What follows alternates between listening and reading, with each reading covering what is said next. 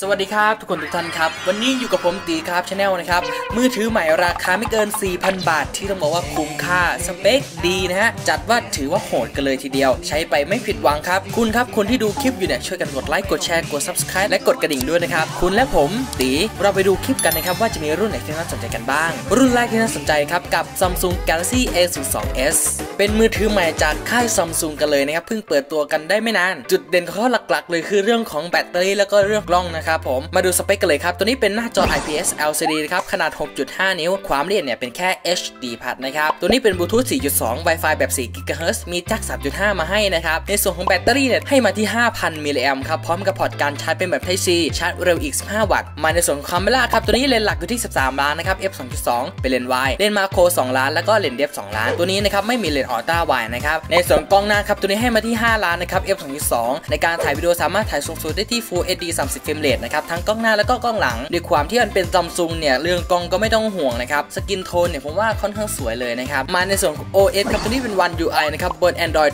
10 CPU เนี่ยเป็น Snap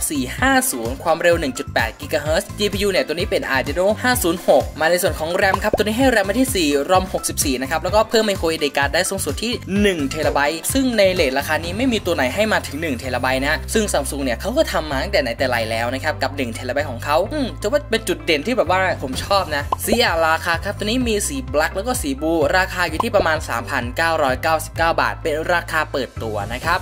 เทคโนโพว่าเอ๊ะเอ๊ะรุ่นอะไรครับนี้ไม่เคยได้ยินเลยท่านผู้ชมครับนี่เป็นรุ่นที่ไม่ได้เพิ่งมาใหม่ มีมานานแล้วนะครับ แต่ว่าเพิ่งจะมาทำตรงตลาดในประเทศไทยเนาะเทคโนโพว่าเนี่ยคล้ายๆกับ Infinix เลยนะครับ ก็คือเน้นสเปคเนาะรุ่นนี้ครับมาพร้อมกับหน้าจอแบบ IPS LCD 6.8 นิ้ว ซึ่งมีขนาดใหญ่มากเลยนะครับ ความละเอียดเนี่ยเป็น HD Plus ระบบครับตัวนี้ให้บลูทูธมาเป็นเวอร์ชัน5.0 Wi-Fi แบบ5 GHz มีแจ็ค3.5 มาให้ แล้วก็มี fingerprint นะครับ แบตเตอรี่ตัวนี้ก็ค่อนข้างให้มาอึดเลยนะครับที่ 6,000 มิลลิแอมแต่ว่าน่าเสียดายครับ เพราะว่าพอร์ตการชาร์จตัวนี้ไม่ใช่ Type C เป็น Micro USB ซึ่งในสมัยนี้ควรจะเป็น Type C ได้แล้วเนาะก็ได้อย่างเสียอย่างนะครับ แต่ว่าตัวนี้มาพร้อมกับชาร์จเร็วอีก 18 วัตต์นะคาเมล่าครับตัวนี้ให้มาเป็นแบบ Triple Camera ครับเลนส์หลักอยู่ที่ 13 ล้าน f 1.9เป็นเลนส์ wide เลนส์ macro 2 ล้านแล้วก็เลนส์ depth 2ล้าน แต่ว่าอีกเลนส์หนึ่งเนี่ยเป็นเลนส์อะไรก็ไม่รู้นะฮะซึ่งตัวนี้ไม่มีเลนส์ ultra wide นะครับผมในส่วนกล้องหน้าครับตัวนี้ให้มาที่ 8 ล้านนะครับ f 2.0ในการถ่ายวิดีโอกล้องหลัง 2K นะครับกล้องหน้าก็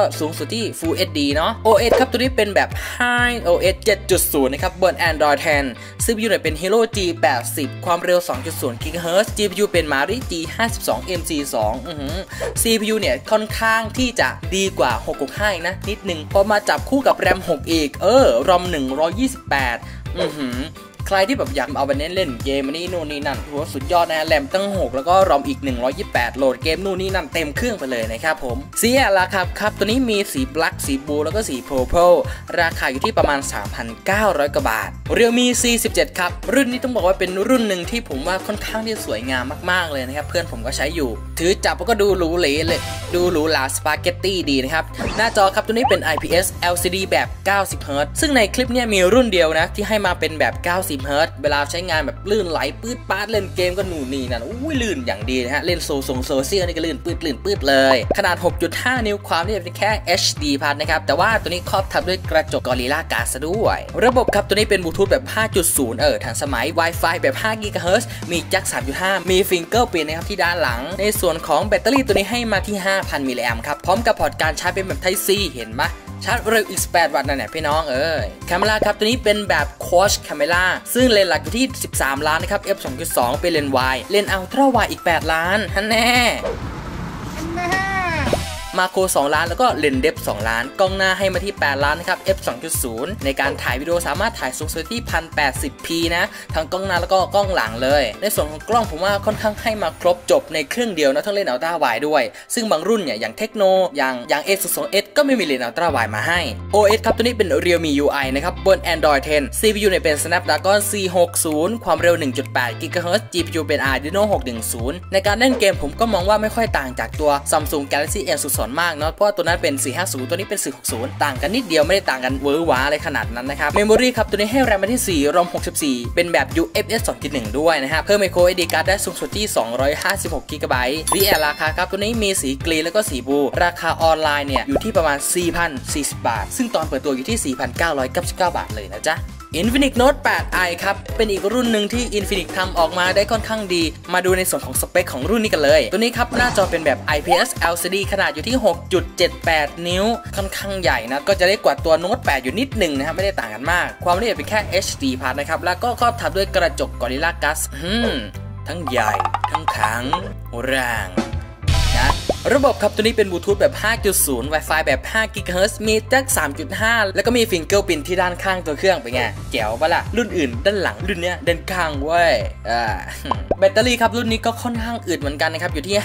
5,200 มิลลิแอมพอร์ตการชาร์จเป็นแบบ Type C 2.0 ครับชาร์จเร็วอีก 18 วัตต์คาเมราครับตัวนี้ให้ไปเป็นแบบ Quad Camera นะครับ โดยเลนส์หลักอยู่ที่ 48 ล้านเป็นเลนส์ Y มาโค2ล้าน แล้วก็เลนส์ depth 2ล้าน แล้วก็อีกเลนส์หนึ่งเป็นเลนส์ AI 2 ล้านนะครับกล้องหน้าให้มาที่ 8 ล้านนะครับในการการถ่ายวิดีโอเนี่ยสามารถถ่ายสูงสุดที่ที่ 2K นะครับ30 frame rate ทั้งกล้องหน้าแล้วก็กล้องหลังอือหือในส่วนกล้องอะรุ่นนี้ไม่มีเลนส์ ultra wide นะครับในการถ่ายภาพผมมองว่าเออประทับใจนะทำออกมาได้ค่อนข้างที่จะดีเทียบเท่ากับพวก Redmi 9T ได้เลยนะครับผม OS ครับตัวนี้เป็น XOS 7.1 นะครับบน Android 10 CPU เนี่ยเป็น Hero G80 นะครับผมเหมือนกับรุ่นนั้นเลยอะ Tecno Pova เลยนะครับ ความเร็ว 2.0 GHz GPU เป็น Mari G52 M42 Memory ครับตัวนี้ให้ RAM มาที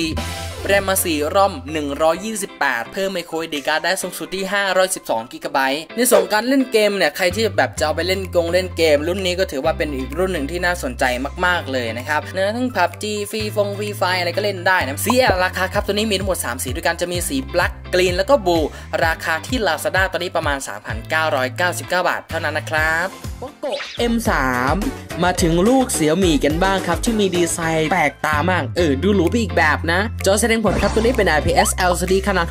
6.53 นิ้ว ความละเอียดเป็นแบบ Full HD Plus ครับทับด้วยกระจก Gorilla Glass 3 ระบบครับตัวนี้ให้บลูทูธมาเป็นเวอร์ชัน5.0 Wi-Fi แบบ 5 GHz มีแจ็ค 3.5 มาให้นะครับ แล้วก็มี Fingerprint ที่ด้านข้างตัวเครื่อง และยังเป็นแบบ Dual Speaker ด้วยนะครับ คือลำโพงคู่ แบตเตอรี่เนี่ยก็ค่อนข้างให้มาอึดกันเลย คือ 6,000 มิลลิแอมพร้อมกับพอร์ตการชาร์จเป็นแบบ Type C จับคู่กับชาร์จเร็วอีก 18 วัตต์นะครับคาเมราครับตัวนี้ให้มาเป็นแบบ Triple Camera ครับโดยเลนส์หลักอยู่ที่ 48 ล้าน f 1.8 เลนส์ Macro 2ล้าน และเลนส์ Depth 2ล้าน กล้องหน้าให้มาที่ 8 ล้านนะครับ ในการถ่ายดูสามารถถ่ายสูงสุดได้ที่ Full HD 2 f p s ทั้งกล้องหน้าและกล้องหลัง น่าเสียดายเนาะที่ไม่มีเลนส์ wide OS ครับตัวนี้เป็น MIUI 12 นะครับบน Android 10 CPU เนี่ยเป็น Snapdragon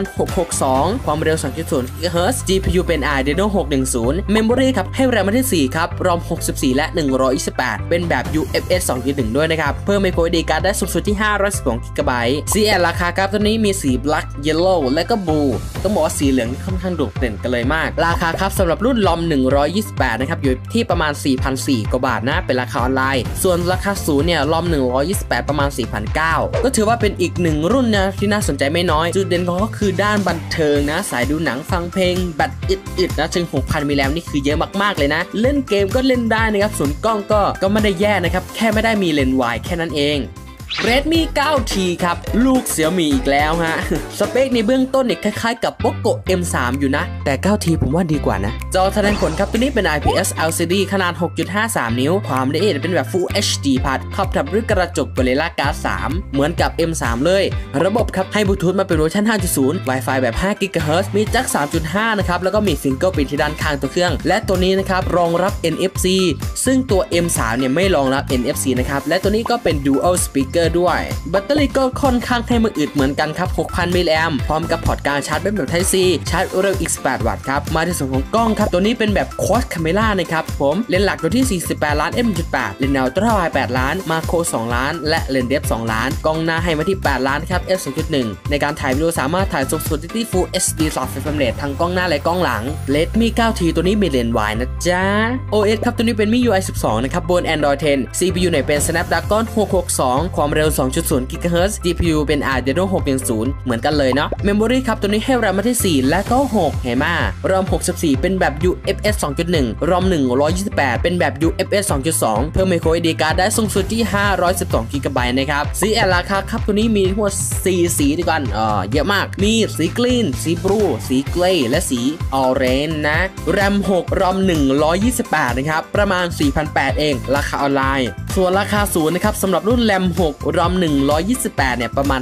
5,200 ประมาณนั้น อย่างที่เราไปข้างต้นนะครับว่าสเปคเนี่ยค่อนข้างคล้ายๆกับ Poco M3 แต่ว่าตัวเนี้ยจะเพิ่มมาในส่วนของกล้องเลนส์วายการรองรับ NFC นะครับก็แล้วก็แรม 6 อีกด้วย และตัวนี้ก็เป็นรุ่นที่ถ่ายรูปออกมาได้แบบดีมากๆ สุดโหดในเลทนี้จริงแหละจริง ๆ สำหรับคลิปนี้ก็มีแต่เพียงเท่านี้นะครับ ขอบคุณทุกคนมากครับที่ดูคลิปนี้ ช่วยกันกดไลค์ กดแชร์ กด subscribe แล้วก็กดกระดิ่งเพื่อเป็นกำลังใจกับผมด้วยนะครับสำหรับวันนี้ สวัสดีครับ ไว้เจอกันใหม่คลิปหน้า สวัสดีครับผม